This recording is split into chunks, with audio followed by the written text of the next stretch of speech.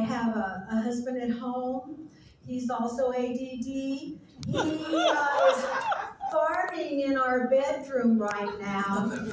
Uh, he's got lots of grow lights. And I'm really worried that the uh, cops are going to raid us. I keep saying he, they're going to come in the house. And he says, well, I'm not doing anything wrong. He said, well, yeah, but you don't know about the pot in my underwear drawer that uh, I've been taking. An, an example would be uh, of my careers, bartender, blackjack dealer, bakery owner, and bicycle repair person. And that's just the bees. And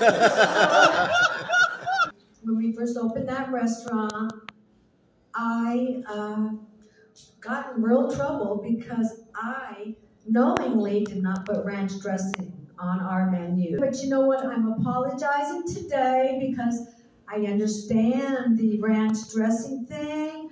And I even dip my french fries now in the ranch in solidarity. Uh, after the restaurant, I thought that I needed to help people. I have so many people at the restaurant. I became a hypnotherapist.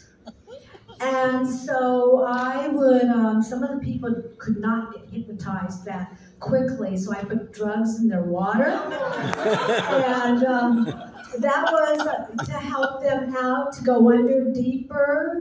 And normally, when you bring somebody out, you just go, hey, one, two, three, wake up, wake up. And their eyes wide open and they wake up. But them other ones, I had to say, I just said, wake up!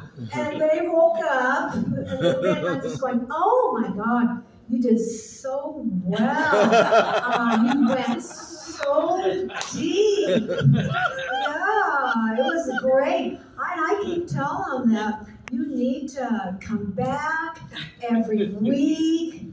We've got a lot of work to do, and I, I need money to pay my bills.